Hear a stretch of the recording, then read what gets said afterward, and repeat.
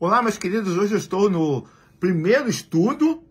É, a introdução é, foi a semana passada. Hoje nós vamos ter o estudo introdutório sobre doutrina. Tá bom? Semana passada foi uma visão geral e hoje ela é muito específica sobre doutrina. E todos os estudos têm dois objetivos. Tem o que, que nós vamos aprender? O, qual é o objetivo desse estudo de hoje?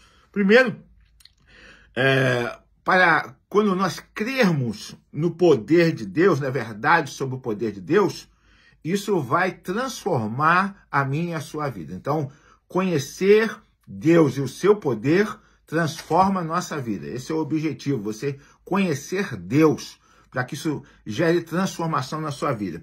E uh, antecipar pela fé, né? a fé é ver as coisas que ainda não aconteceram, é, esse desafio de aprender doutrina, o que ele vai produzir em você de bom. Então, pela fé, é, estudando sobre doutrina, você vai aprender coisas que vão produzir bons resultados em você. Eu quero uh, ler dois versículos que nos ajudam a desenvolver uma, uma visão cristã do mundo. Né? É, eu, eu usei um termo holística, Aí as pessoas pensam que tem a ver com esoterismo. Não. É, holisticismo é quando a gente não cria departamentos. É, isso aqui é vida material, isso aqui é vida econômica, isso aqui é vida espiritual. É, nós não, não devemos fazer isso, temos que aprender com os judeus. Os judeus eles têm uma visão holística do mundo. É, Deus atua em todas as áreas, então nós temos que aprender isso. Filipenses, capítulo 1, versículo 9 a 10. Presta atenção que eu vou ler para vocês, hein? Ah, esta é a minha oração, que o amor de vocês aumente cada vez mais em conhecimento e em, em conhecimento e em toda percepção, para discernirem o que é melhor, a fim de serem puros e irrepreensíveis até o dia de Cristo. Que dia de Cristo? O dia em que Jesus vai voltar e que vai haver o grande julgamento. Cheios do fruto da justiça, frutos que vêm por meio de Jesus Cristo para a glória e louvor de Deus. Então veja que coisa maravilhosa, né? Paulo fazia uma oração para que os cristãos aumentassem mais o seu conhecimento e percepção para discernir o que, que é bom, porque isso traz pureza, ou seja, santificação, transformação de vida. Isso gera vidas irrepreensíveis, porque no dia da volta de Cristo nós temos que comparecer irrepreensíveis diante de Cristo, cheios do fruto, fruto da justiça, que é um dos frutos do Espírito Santo, frutos que vêm por meio de quem? De Jesus Cristo, para a glória e para o louvor de Deus. Que coisa maravilhosa é a oração de Paulo aos Filipenses, capítulo 1, versículo 9 e 10. Eu tenho outro texto aqui que está em Judas, né? Na carta de Judas, capítulo 1, versículo 20. Vou ler para vocês, ó. Edifiquem, porém, amados, na santíssima fé que vocês têm, orando no Espírito. Ok? Então, é, dois ensinamentos aqui dizendo que nós temos que edificar a nossa vida, né? Edificar a nossa vida, o que? Na santíssima fé. É, santo, gente, é a palavra haglios, que significa separados, transformados. Deus é, diz que nós devemos ser santos, porque sem santidade ninguém vai poder encontrar Deus. Santo é perfeito? Não. Santo é separado e buscando a transformação a cada dia, a dedicação diante de Deus e buscando o conhecimento da palavra de Deus, é, se arrependendo em oração a todo momento, a todo instante, buscando uma vida transformada. Mas afinal de contas, o que é doutrina cristã? Né? Falamos sobre doutrina e o que é doutrina cristã. Então vamos aí nesse ensino. Doutrina cristã é um sumário organizado, ou seja, é um compêndio. É como se fosse um estudo organizado sobre é, questões de entendimento da fé sobre os mais diferentes assuntos da, da vida. Então, doutrina é um tratado, é um conjunto de crenças, de valores, de ensinos, que é, é para ajudar você a ter um entendimento pela fé das coisas mais importantes que acontecem na nossa vida. E uma palavra para definir teologia, né? Eu sempre brinco com os meus alunos que teologia é, é, é, é, o homem tentando estudar Deus. Quer dizer, nós estudamos teologia, existem incontáveis livros de teologia, é, existem diferentes é, seminários teológicos ao redor do mundo, inúmeros pensadores teológicos, é o homem se esforçando, né? Para entender Deus, porque Deus é tão grande que a gente estuda, estuda, estuda e está sempre aprendendo. Então, o que é teologia? É o conhecimento de Deus, né? É o homem na busca do conhecimento de Deus. E por que que nós temos que estudar a doutrina? Né? Então, existe aqui uh, algumas lições nesse livro, eu vou tentar aqui. É, vamos lá. Nós somos cruéis conosco mesmo se nós tentarmos viver a vida neste mundo sem conhecer Deus e como ele trabalha com o mundo. O mundo vai ser um lugar estranho, ruim, cheio de dor, mas não para esses que conhecem sobre Deus. J. A. Parker. Quer dizer, esse teólogo diz que nós precisamos conhecer Deus para a gente ter uma visão do que está acontecendo no mundo. Né? E por que, que eu devo aprender doutrina? Porque o conhecimento da fé sobre Deus ajuda a eu crescer né, na minha fé cristã. Quando eu conheço sobre Deus, eu sou edificado, eu sou acrescenta na minha vida um conhecimento que me ajuda a conhecer Deus melhor. Né? Por que, que tem tanta gente que blasfema de Deus? Por que, que tem crente que blasfema de Deus, mesmo de igreja que blasfema de Deus? Porque ele não conhece a doutrina. Então, por qualquer coisa ele se desvia, por qualquer coisa ele deixa a igreja, por qualquer coisa ele abandona a razão da sua fé. Lá no livro de Provérbios, capítulo 2, é, de 2 a 5, eu tenho que ser rápido aqui, gente, porque o Instagram não me permite muito tempo na nossa transmissão, tá bom? Então, é desse jeito. Provérbios capítulo 2, do versículo 2 ao versículo 5, diz assim: se eu der ouvido à sabedoria e inclinar o coração para o discernimento, se eu clamar por entendimento e por discernimento gritar bem alto, e procurar a sabedoria como se procura a prata, e buscá-la como quem busca um tesouro escondido, então você entenderá o que é temer o Senhor e achará o conhecimento de Deus. Então, nós precisamos de doutrina, assim como alguém que está buscando um tesouro, né? Está buscando uma coisa extremamente valiosa, né? A gente precisa é, valorizar as coisas de Deus. E hoje as pessoas não leem a Bíblia, é, os cultos não têm mensagem. Então, esse curso Fundamentos da Fé é para você descobrir o tesouro que está aqui, esperando para ser descoberto de você, por você. Então, quando eu tenho o conhecimento, isso me ajuda a ter um fundamento essencial para a minha vida cristã. Então, eu preciso ter esse fundamento essencial. Em Hebreus, é, a gente vai fazer um passeio pela Bíblia, tá? Em Hebreus, deixa eu aqui rapidinho. Em Hebreus, capítulo 6, versículo 1 e 2. Tá bom? É que às vezes as páginas da Bíblia, elas se prendem, que é o caso da minha aqui agora. Tá bom? E aí uma cola na outra e é, isso tá ao vivo, né? E a gente cria esse negócio. Vamos ver lá o que diz Hebreus 6, 1 e 2. Portanto, deixemos os elementos, os ensinos elementares a respeito de Cristo e avancemos para a maturidade, sem lançar novamente o fundamento do arrependimento de atos que conduzem à morte da fé em Deus, da instrução a respeito de batismo, da imposição de mão, da ressurreição dos mortos e do juízo eterno. Gente, deixa eu falar uma coisa para vocês. É, 30 anos de ministério, a gente uh, encontra com muitas pessoas.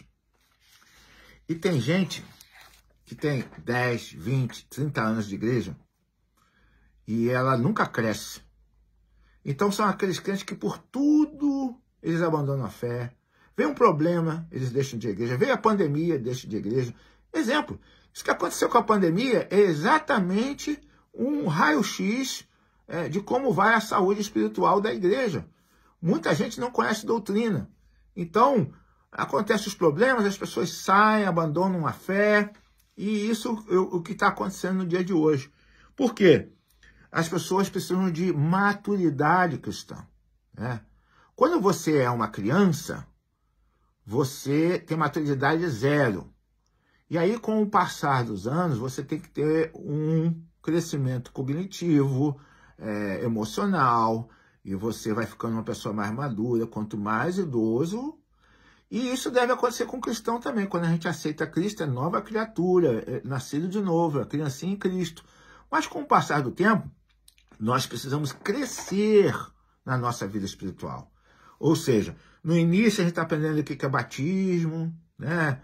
É, o que é o que é a Bíblia, 66 livros, Velho, Novo Testamento e tal. Mas pergunta, faz uma pesquisa. Quantas pessoas sabem se aquele livro ou outro é do Velho ou do Novo Testamento? No tempo que eu me converti, tinha batalha de, de perguntas bíblicas, né? A gente é, era como se fosse um, um, um, programa de televisão, a gente tinha que ter respondendo aonde estava o tal livro, aonde estava o tal versículo, a gente aprofundava na leitura da Bíblia. Hoje, os crentes não conhecem a Bíblia, não sabem o que é um profeta maior, um profeta menor, aonde estão os livros da lei, não conhecem a Bíblia. Como que eles vão conhecer doutrina sobre a volta de Jesus, sobre a escatologia? Como que eles vão fundo nisso?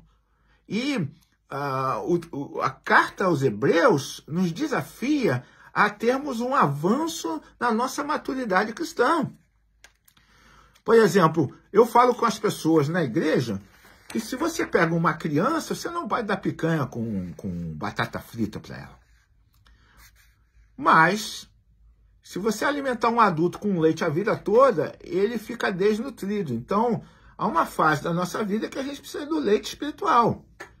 E a outra fase, que nós já somos maduros, o nosso organismo já é maduro, que o nosso espírito tem que ser maduro, que nós precisamos de um alimento mais sólido.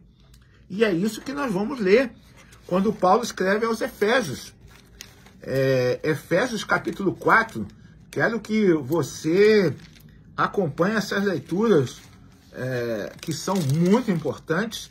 Você está vendo que é um estudo extremamente bíblico, porque tem versículo para tudo. Efésios capítulo 4, do versículo 13 ao 14. Acompanha aí comigo ó, a leitura. Ok, letrinha, vamos lá. Até que todos alcancemos a unidade da fé e do conhecimento do Filho de Deus e cheguemos à maturidade. Olha Paulo falando de novo sobre maturidade. Atingindo a medida da plenitude de Cristo. O propósito é que não sejamos mais como crianças Tá aí de novo. Levados de um lado para o outro por ondas, nem jogados para cá e nem para lá, por todo o vento de doutrina, e pela astuta, pela astúcia e esperteza de homens que introduzem o erro, induzem ao erro. Então, olha só, Paulo escreveu aos Efésios que eles tinham que amadurecer e tinha um propósito nesse amadurecimento para que eles não fossem ventos de doutrina. O que é vento de doutrina? Gente, no mundo cristão, ah, especialmente no Brasil, nós amamos novidade. Então, toda vez que aparece uma novidade no mundo cristão, as pessoas vão para lá sem fazerem questionamentos. Então, na minha história de pastor, teve os encontros G12, teve os dentes de ouro, teve cair pelo Espírito Santo, de tempos em tempos aparecem novidades. Quando você é um cristão maduro, você ouve o que está se falando e você vai examinar na Bíblia se aquilo tem base na Bíblia. E aí você vai ouvir, eu já ouvi, ouço, que você está julgando. Não, você está fazendo um filtro. Porque, gente, quando Jesus falou não julgarás, é outra coisa. Nós temos que. Você está ouvindo eu falando nesse estudo. Você precisa parar e olhar se na Bíblia eu estou dizendo o que a Bíblia diz. E fique com a Bíblia, não fique comigo. Se você encontrar que na Bíblia está dizendo uma coisa que eu não estou dizendo, fique com a Bíblia, não fique comigo. Mas o que acontece hoje? Um pastor famoso, um pregador de uma igreja com incontáveis membros, e aí você não filtra o que está ouvindo. Então você precisa filtrar a luz da palavra de Deus para que você não seja levado por vento de doutrina. É, nós geralmente pegamos doutrina de todas as denominações e colocamos todas juntas e nós não sabemos o que nós queremos. É uma coxa de retalho doutrinário, uma salada doutrinária. E o que, que acontece com isso? Você é levado para todo canto como vento de doutrina. E Paulo diz que isso é coisa para criança. Adulto espiritual, maduro espiritual, ele escuta tudo e retém o que for bom. Lembra lá em Atos que fala dos crentes de Iberéia, que eram mais sábios do que Tessalônica, porque eles ouviam os apóstolos pregando, chegavam e iam examinar no que eles tinham na época, que era a, a Torá e os profetas, e examinar se aquilo que estava dito lá tinha conexão com a Bíblia deles na época, né? Porque não é a Bíblia que nós temos hoje. Então, você tem que ter um filtro na sua vida espiritual. E esse filtro é o propósito de Deus para a sua vida. Por isso que nós estamos aqui estudando fundamentos da fé, para que você não seja vento de doutrina. Por exemplo, nós estamos num mundo que estão dizendo que o que a Bíblia ensina é fake news, é teoria da conspiração. Ah, gente, a volta de Jesus não é teoria da conspiração.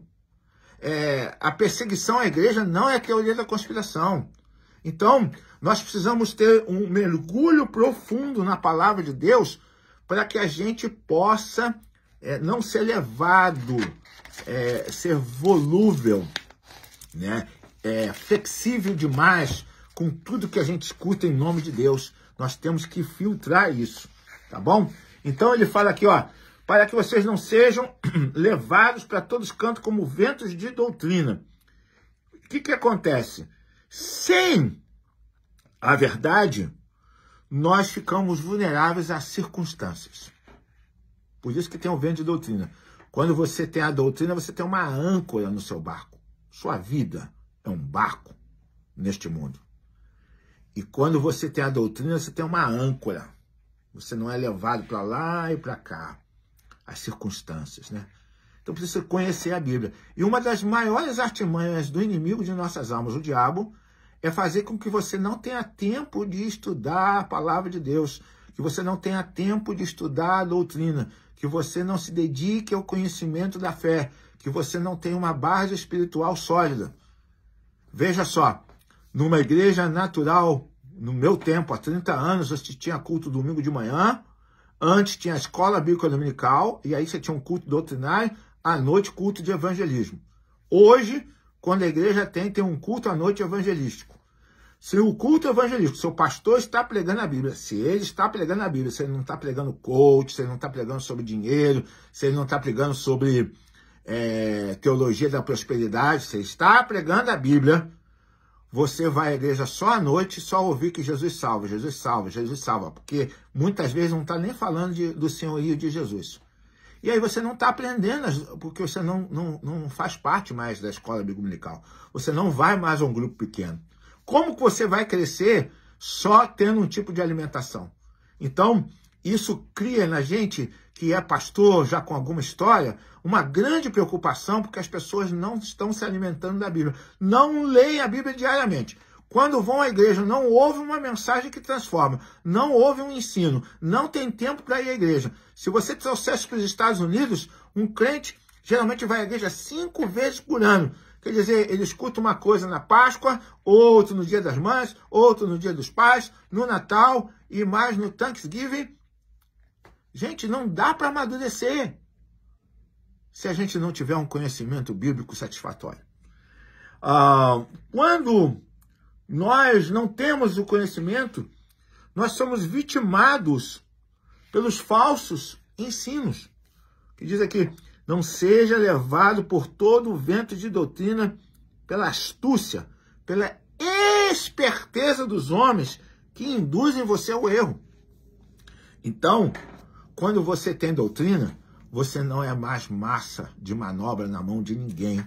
Você conhece a palavra de Deus, pode falar quem quiser, pode dizer quem quiser, porque você é, não é mais massa de manobra de ninguém. Você tem condição de filtrar. Você vai ouvir quem for, eu, qualquer outro pastor famoso, você vai filtrar. Opa, essa mensagem não vem de Deus. Me desculpe aí, pastor fulano, beltrano, mas essa palavra não vem de Deus. Doutrina alimenta a minha alma. Paulo, quando escreveu sua carta a Timóteo, e eu vou lá com vocês na primeira carta de Paulo a Timóteo, capítulo 4, versículo 5. Escute essa, hein? Olha que Paulo diz ao jovem pastor Timóteo, né? pois é santificado pela palavra de Deus e pela oração. Eu vou ler aqui um pouquinho, é, um pouco mais atrás. Diz assim, pois tudo que Deus criou é bom e nada deve ser rejeitado se for recebido com ações de graças, pois é santificado pela palavra de Deus e pela oração. Ou seja, Deus, ele quer santificar a sua vida através da palavra dele e da oração. Por exemplo, nesse exato momento está acontecendo nos Estados Unidos um movimento de reavivamento. Vieram me perguntar: vamos buscar a Bíblia. Vamos buscar a Bíblia. A Bíblia, para os batistas, é a regra de fé e de prática. Então, quando a gente vê na Bíblia, a gente vai ver que todo encontro com a palavra de Deus gera o quê? Arrependimento, transformação, oração, mudança de vida. E eu volto aqui, porque Paulo está dizendo a Timóteo, diz que a palavra de Deus santifica você através da palavra de Deus e da oração. A carta aos Hebreus diz novamente, lá no seu capítulo 5, versículo 12 a 14. Diz assim: Pois a palavra de Deus é viva, eficaz e mais afiada do que qualquer espada de dois gumes. Ela penetra até o ponto de desviar alma e espírito juntas e médulas, julga os pensamentos e intenções do coração.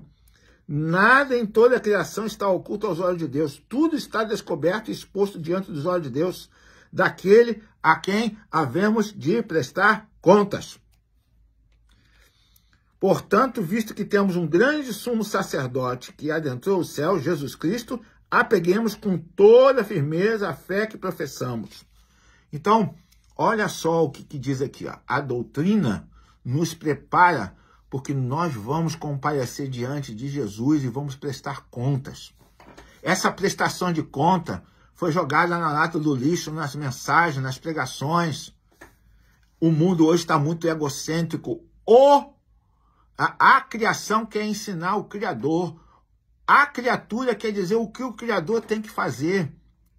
Nós achamos que o mundo gira ao nosso redor. É, há ensinos dizendo que nós não somos pecadores, que nós somos muito bons. Nós somos miseráveis pecadores e um dia isso é, foi deixado de ser falado no meio da pregação cristã. Um dia nós vamos prestar contas a Deus por tudo o que nós fizemos e deixamos de fazer. Então, quando nós estudamos doutrina cristã, ela nos lembra: alô, o mundo está sob controle, Deus está de olho, você tem uma missão como cristão, você tem que amadurecer sua fé. Por quê? Você vai prestar conta ao pastor da igreja? Não. Você vai prestar contas diante de Deus. E aí, é, lá em Atos dos Apóstolos, capítulo 20, Vou viajar lá no livro de Atos dos Apóstolos. Vocês desculpam, mas assim, a Bíblia da gente aqui está colada. E aí, de vez em quando, a, a, as páginas colam umas nas outras. Tornando assim um desafio um pouquinho maior encontrar o versículo. Atos capítulo 20, versículo 32, é dito o seguinte: Agora eu os entrego a Deus e a palavra da sua graça, que pode edificá-los e dar-lhes herança entre todos os que estão santificados. Então, gente, é muito importante você estudar a doutrina, porque é a palavra de Deus que edifica você. E aqui, segundo o que diz a Bíblia, dá-lhes herança entre todos os santificados. Né? Então a palavra de Deus alimenta a sua alma. Vai lá no fundo, igual a espada que penetra dentro do seu coração e que transforma a sua alma. Né? Agora, qual é o produto disso? Para que, que a gente é edificado? Né? Para é edificado. É, tá lá em 1 Timóteo, vamos voltar, né? Quando nós somos edificados, tem um propósito. É 1 Timóteo, capítulo 4, versículo 6. É, eu estou deixando aqui para vocês verem assim, né? Olha só. Se você transmitir essas instruções aos irmãos, será um bom ministro de Cristo Jesus, nutrido com as verdades da fé e da obra, da boa doutrina que tem seguido. Ou seja, Deus edifica a sua vida na fé, nos fundamentos da fé, porque essa verdade vai capacitar você a ensinar outros. E eu vou terminar o estudo de hoje aqui nessa parte. Semana que vem a gente continua de novo, porque eu quero incentivar vocês a fazerem perguntas. Olha aqui, ó. Se você transmitir essas instruções aos irmãos, será um bom ministro. Eu fico pensando, gente, eu, olha que eu conheço gente nesse mundo, hein? Olha que eu conheço pastores. Olha que eu observo inúmeros sermões de igrejas diferentes, de três línguas diferentes, pelo menos. E eu fico pensando como é que alguns pastores podem dormir quando chegam em casa. Como que eles convivem? Porque a função de quem quer ser um bom ministro de Cristo é nutrir aqueles que estão sob sua li liderança ou sob a sua influência com as verdades da fé e da boa doutrina. Essa é a função que Paulo. Gente, presta atenção. Nós batistas temos a Bíblia como regra de fé e prática. Aqui nós estamos falando do apóstolo Paulo dando conselhos a um novo pastor chamado Timóteo.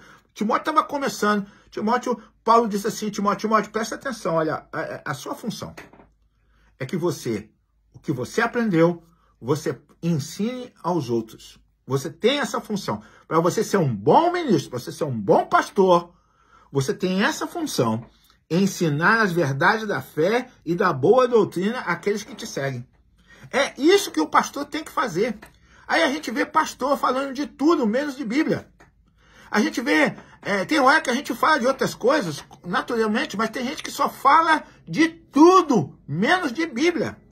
Então, púlpito, é, espaço digital, você pode falar de coisas diferentes, mas você tem que ter um espaço para falar da Bíblia. Porque essa é a função primordial, é, é, é a prioridade de um ministério pastoral.